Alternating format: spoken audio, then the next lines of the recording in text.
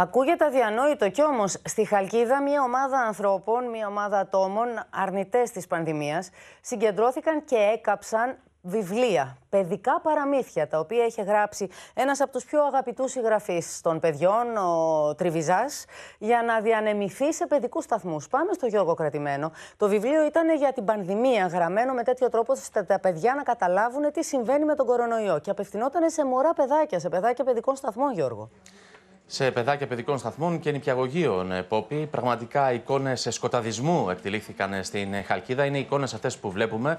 Αρνητές γονείς έκαψαν, όπως ανέφερες, αντίτυπο του βιβλίου του Ευγένιου Τρεπιζά που έχει γράψει για την πανδημία. Ένα βιβλίο που έχει μοιραστεί, όπως είπαμε, στα παιδιά. Ο Ευγένιος Τρεβιζά ουσιαστικά εξηγεί με, με έναν απλό τρόπο, με αυτόν τον μοναδικό δικό του τρόπο, τι είναι ο κορονοϊός και πώς μπορούν τα παιδιά να προφυλαχτούν από τον κορονοϊό.